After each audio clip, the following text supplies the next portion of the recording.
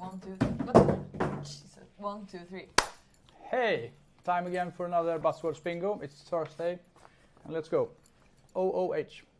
Out of home. Out of home. It's, Is uh, it? It's like a marketing thing of things that are billboards or etc. Yeah. Then we have the next one.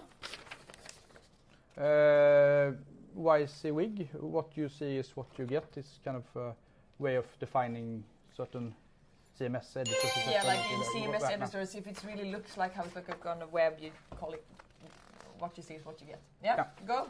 Um, FBA Functional business analysis. uh, or, or the uh, Federal Bureau of uh, I don't know. Uh, fulfillment by Amazon. It's a. It's Oh, popular yeah, yeah, yeah, uh, sorry. term. Yeah. Okay. This then though. Dark UX. I don't know. Uh, Okay, so dark UX is typically if you, let's say you have a shipping option that's really expensive and you want people to take it, even though maybe for the users it's not the best, and you make a UX where you kind of trick people into doing it. Dark UX is typically when you try to trick people into user behavior that actually isn't best for the user. Okay. So it's probably reach, gonna reach out to Alberto. you, He you will- so uh, like voodoo ways to do business. I'm, Yeah, I'm, okay. I'm more of a shooting straight yeah, guy. okay, next one. Cogs. Very common business term when you do sales. Sorry, it's Ah, Yes. got you. It's a cost of goods sold. It's it's Okay. uh, how to calculate uh, yeah. profitability. This one then, COE. Cost over effort. I.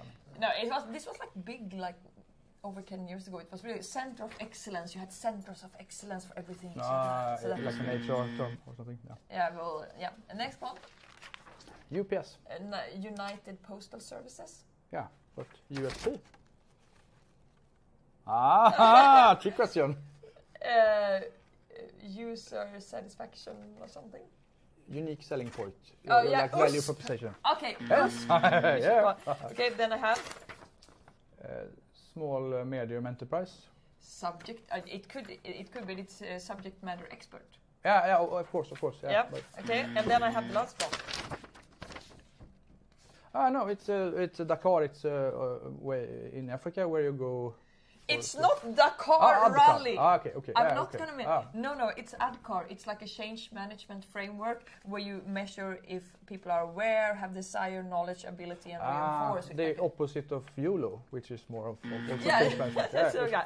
Okay, thank you very much and have Leave a nice Thursday. comments if you have some questions, and uh, feel free to enjoy your Thursday. Yeah.